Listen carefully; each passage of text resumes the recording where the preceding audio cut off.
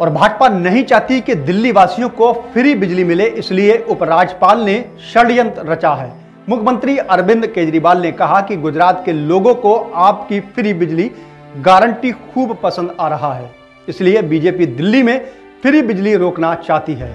दिल्ली के लोग भरोसा रखना, मैं आपकी बिजली किसी हालत में रुकने नहीं दूँगा।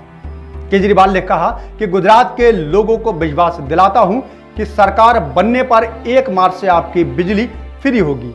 हर चीज़ का इतना टैक्स लगा दिया गया है, महँगाई बड़ी है, लोगों का खून चूस रहे हैं। अगर ऐसे में लोगों को बिजली फ्री करके थोड़ी राहत देता हूँ तो वह लोगों, भाजपा को बर्दाश्त नहीं होता है। आम आदमी पार्टी के वरिष्ठ नेता और विधायक सौरभ भारद्वाज ने मुख्यालय पर प्रेस वार्ता कर संबोधित करते हुए कहा कि भारतीय जनता पार्टी को ना जाने क्या समस्या है? हर बड़े त्यौहार पर कोई ना कोई संकट पैदा कर देती है। उन्होंने आरोप लगाया कि दिल्ली के उपराज्यपाल ने भाजपा के एक षड्यंत्र में शामिल होकर वो काम किया है जिसकी कोशिश भाजपा कई सालों से कर रही थी।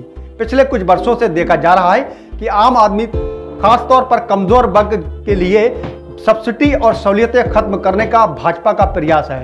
इसके तहत पहले सुप्रीम कोर्ट में भी एक जनहित याचिका दायर कर दी गई थी। आम आदमी पार्टी के वरिष्ठ नेता सौरभ भारद्वाज ने बीजेपी पर निशाना साधते हुए कहा कि गुजरात में आम आदमी पार्टी के विजय रथ को रोकने के लिए भाजपा ने दिल्ली में मुफ़्त बिजली खत्म करने का बड़ा षड्यंत्र रचा है।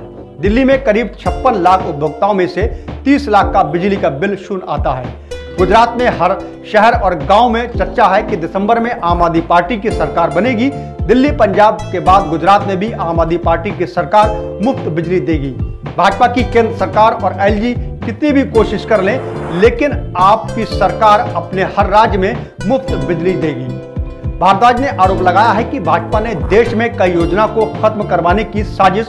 उनमें मुफ़्त शिक्षा, मुफ़्त स्वास्थ्य सेवाएँ, दिल्ली और पंजाब में मुफ़्त बिजली, दिल्ली में महिलाओं को मुफ़्त बस यात्रा जैसी योजना शामिल है।